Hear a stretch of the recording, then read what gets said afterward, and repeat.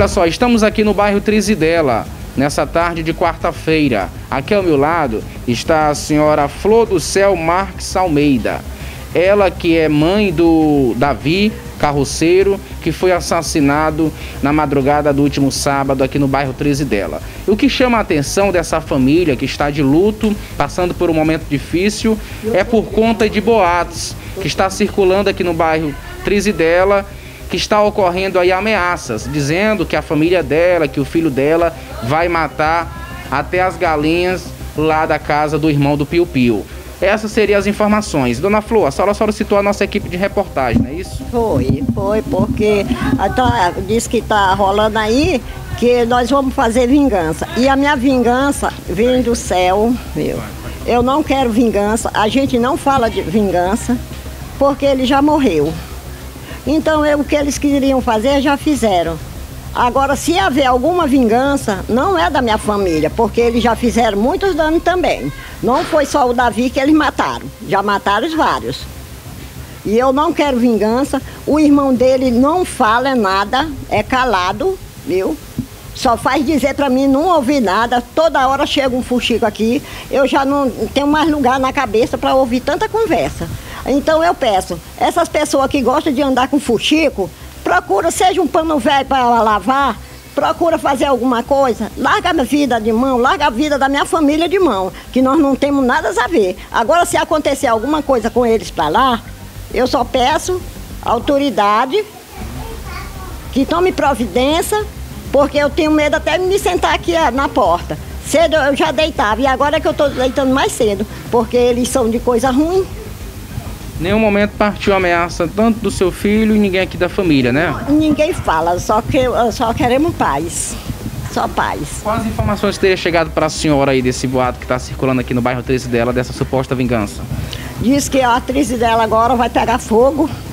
Diz que ele vai matar a família do, do, do menino, vai vingar a morte, que ninguém fala nisso que quando eu começo aqui, vem gente que nunca nem falou comigo, há 11 anos que eu moro aqui, estou com 65, nunca falou comigo, agora vem para cá, me dá, diz que vem me dar apoio, vem falar de lá, para ouvir o que é que eu falo, para estar tá naquela fuxicada.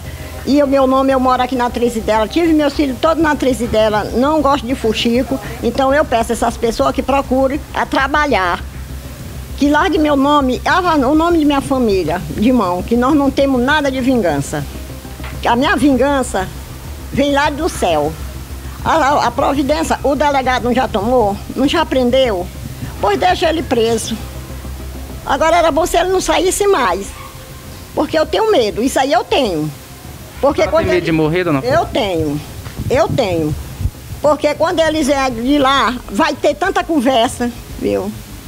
Aí ele vai se zangar de novo lá, lá vem me matar. Aí a minha casa é cheia de neto. O tanto de neto que eu tenho, né? Aí eu sozinha.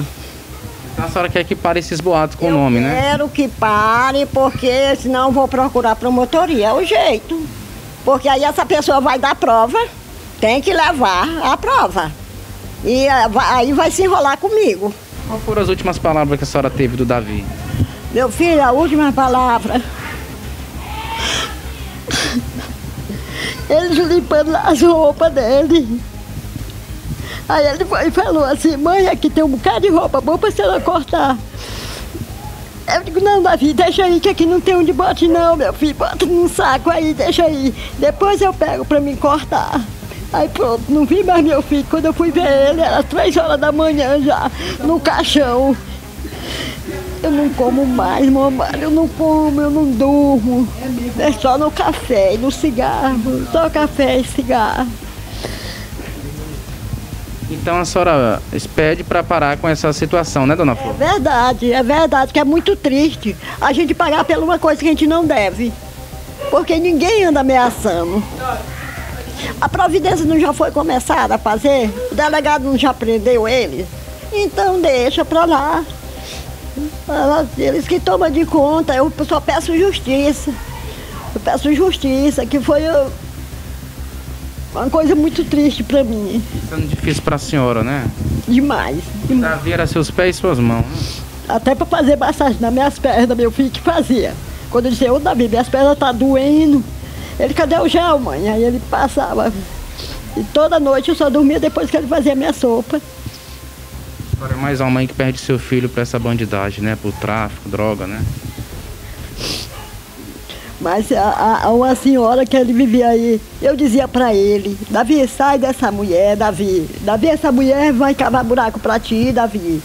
Aí ele não acreditava. Eu, eu dizia para mim que era para me largar a vida dele de mão. Davi, eu estou enxergando Davi. Ele acho que contava para ela. Quando foi uma noite, ela passou aí me jogando piada. Que ela sabia era fazer casinha mesmo. Ela fazia era casinha mesmo. O vagabundo que estava brigando mais ela aí, Tava fumando mais ela lá. Ela veio só me jogar piada. Ela veio só, passou aí só para me jogar piada. Isso quando? Eu acho que foi na mesma semana que ele morreu. Como é o nome dessa mulher? Chamo ela de Ciene, eu não sei como é o nome Ciene, dela. né? Ciene. O Raimundo Coitinho veio buscar ele para trabalhar, veio duas, duas vezes de noite. Aí chamou ele calado. Ele não levantou. Isso foi ela que não deixou ele viajar, sabendo o que ia acontecer. E ela falando que sempre faz casinha mesmo. Ela falou. Ela falou bem, começou a falar bem daqui assim, até lá. E eu olhando aqui pelo coisa, pelo vidro, que eu não abri a porta. Aí eu olhei quando ela passou. Eu sei fazer casinha mesmo, eu sei fazer casinha pra. Eu vou fazer mesmo, miserável. Ainda disse desse jeito. Mas eu não sabia se era para ele, eu não sabia. A senhora acha que a Ciane levou o seu filho pro cheiro do queijo? Foi ela, foi ela, foi ela. Foi Depois disso, ela apareceu? Outra... Não, aí quando foi no dia do velório, aí veio o carro, eu não sei. Acho que é investigador, vieram dois. Aí falou lá com o pai dele, aí depois eu fui. Aí ele perguntou para mim como era o nome da mulher, que era da namorada dele.